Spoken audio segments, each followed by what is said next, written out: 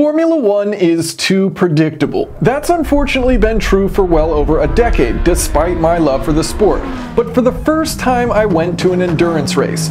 The endurance race, mind you, as Cadillac invited me to come out and witness the 24 hours of Le Mans. And it was incredible. Where Formula One has a very rigid rule set surrounding the powertrain, Le Mans hypercars are much more open, so you have much more variance, and it's awesome to see these different strategies. Hello everyone, and welcome. In this video, we're covering the absurdly cool powertrains used in Le Mans hypercars. I was able to see Cadillac's powertrain up close while chatting with the engineers. It's a 5.5 liter naturally aspirated V8, which is limited by the rules to 500 kilowatts, or about 670 horsepower. Now, you might say, wait a minute, 5.5 liter naturally aspirated V8 making 670 horsepower.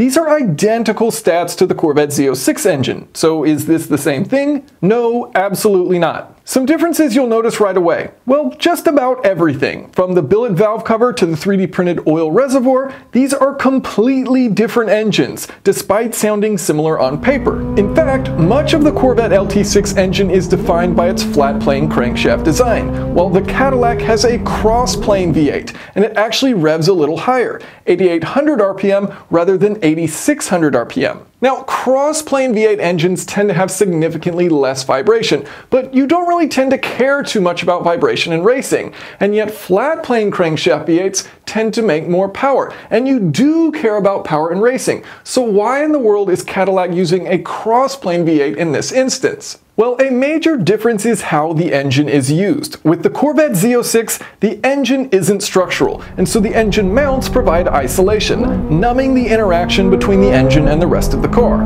With the Cadillac, the engine is structural. It's a major part of the chassis and is integral to the handling of the car. And because it's structural, every little vibration the engine makes is connected to the rest of the car. So using a cross-plane crank, in this case, cuts down on that vibration. Okay, but what about power? Well, power is limited in the rules to 500 kilowatts, so maybe a flat plane crankshaft could make significantly more power. But as long as you can make 500 kilowatts with your cross-plane V8, well, you really don't care because you're making that maximum power, so it plays less of a role in your decision making. So with Le Mans hypercars, sure there are plenty of small rules, but when it comes to the engines, there's really just one major rule. It needs to be a petrol four-stroke engine. The end. You have so much flexibility. So because of this flexibility, you see so much variance amongst the cars racing. So as far as displacement is concerned, you see engines as small as 2.6 liters going up to Cadillac's massive 5.5 liter. You've got different layouts. You can run a V6, a V8. You can run a rotary engine if you want. You've got different aspirations. So Cadillac is the only team running a naturally aspirated engine. Everyone else has chosen to run twin turbos, but you have that choice.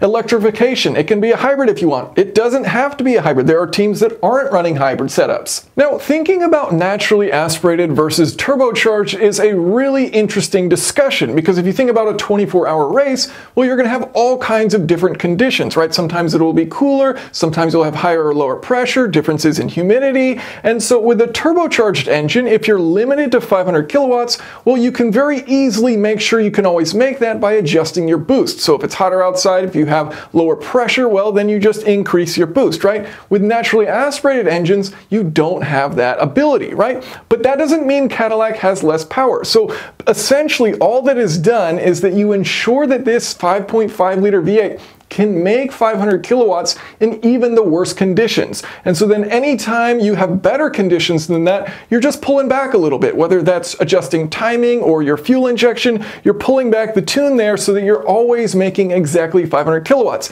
And even if you're at an unideal time of day, say it's really hot outside, you can still make that peak power and still go very similar speeds, right? So your speed isn't so much dependent on ambient conditions in regards to how much power you make, even with a naturally aspirated engine because you're essentially creating it from the get-go to make sure that in any condition you can make that 500 kilowatt. Powertrain is also a very interesting discussion. So with the Cadillac you have your engine as well as your hybrid motor both connected directly to your transmission. Now this is a 7-speed sequential gearbox and then that's powering the rear wheels.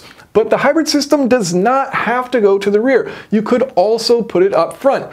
The only thing that you really have to keep in mind with the rules is, is that you have a 500 kilowatt limit at the wheels. This is not at the crank of the engine, this is at the wheels. So you actually have torque sensors on your axles, and combined between the front and the rear axle, you can never be putting down more than 500 kilowatts of power. Now, as far as the hybrid system at Le Mans, you are limited to just 30 kilowatts. So it is important to realize that that is included within that 500 kilowatts of maximum power. So if you're putting down 30 kilowatts with the MGUK, well then your engine can only make a maximum of 470 kilowatts. But you need to ensure that at any moment you're not using that hybrid motor, you still have the ability to have 500 kilowatts just from your engine. So the hybrid really is giving you an advantage in efficiency, which is critical in endurance racing. So it seems crazy that there are teams that aren't using hybrid, uh, but hybrid makes so much sense in the endurance environment because, again, efficiency is so critical in maximizing how many laps you're going to get, minimizing how much fuel you're using, and time that you're spending in the pits. Now, you might think it's a very obvious decision to put your electric motor up front because now you have all-wheel drive, and with all-wheel drive, you get better acceleration at low speeds, and you have better performance in the rain, right? You can put that power down more easily?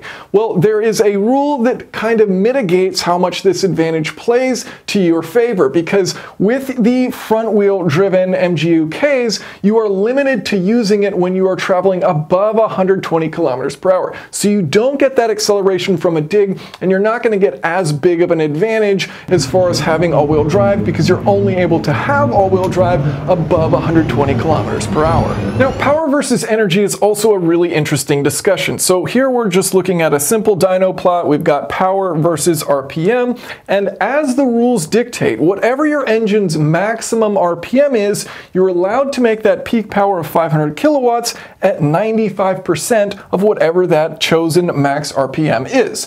So there's this defined curve, right? You can only make that peak power when you're at 95% of your peak RPM. And then you have to follow this curve. So really, you want to keep your RPM as close to 95% as possible somewhere between 90 to 100, but honestly, the closer you can make that range, that means you're more often making your 500 kilowatts. And then there's a very steep drop off if you were to exceed your max RPM. Based on the rules, you really don't want to do that uh, because you really have to drop off how much power you're making. So you're trying to keep it as close to this 95% as possible. However, you only have seven speeds, right? And you only have two gear sets that you choose at the beginning of the season for the entire season. And you can only use one of those two gear sets. So of course that means depending on the track, you're going to have advantages in some places, disadvantages at others. So that gear selection is very critical in trying to ensure that you always keep the power as close to 95% RPM as possible so you can make peak power. Now here's where we have a key difference with Formula One. So Formula One, you have a fuel flow limit. In other words, you have an energy limit. So the more efficient you're able to use the energy flow that you have, the more power you're going to make. And the more power you make, well, the faster your car is. With endurance racing, with these hypercars, you have a strict power limit. So the more efficient you are, well, that means you're using less fuel. So you can have less fuel on the car, that way you'd be saving weight, or you can spend less time refueling your car because you're not using as much of it. So that's a time saving. So it's a different strategy as far as how do you take advantage of the rules in order to do better in this particular style of racing.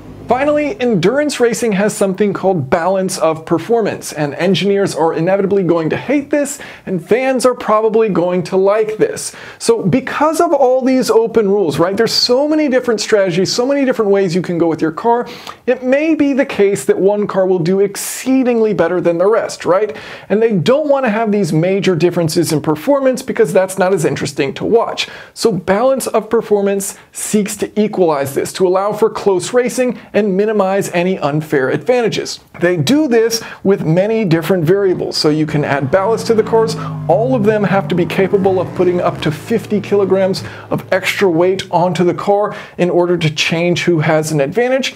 Power is not actually 500 kilowatts, as I've said throughout this entire video. It's defined by balance of performance to be somewhere between 480 and 520 kilowatts. So your team's engine, your team's total performance out of the car could be anywhere from 480 to 520 kilowatts at the wheels. You also have something called a virtual fuel tank. This can be adjusted with balance of performance. Essentially, it's the total amount of energy that you have available per stint, per time that you leave the pits, go out and run around as many laps as you can. That total energy can be changed from team to team. Also refueling time. So for example, hybrids obviously aren't going to use as much fuel. So they may be given a slight penalty in the pits where they have to wait a little bit longer so cars that aren't running a hybrid don't have a disadvantage, a huge disadvantage because they're not using a hybrid and not quite as efficient and have to spend more time refueling in the pits. Tire sizes can be different. There's all kinds of different changes that balance of performance can be implemented in order to make sure you have close racing. Now, there are very obvious challenges when bringing up balance of performance, right? Because inevitably you are going to penalize good engineering. Like how do you not? How do you not penalize a team that designed something perfectly has this really fast car, it beats everybody, well now it's going to get taken down so that it's more level playing field. Sandbagging is now going to be inevitable. Now they try to get around this by using simulation data rather than just looking at the cars and saying, okay, which one's the fastest? They look at simulation data based on the cars, based on the car's capabilities and say, okay, who should be the fastest and in what scenarios and how do we make it so that everyone's going to be relatively close?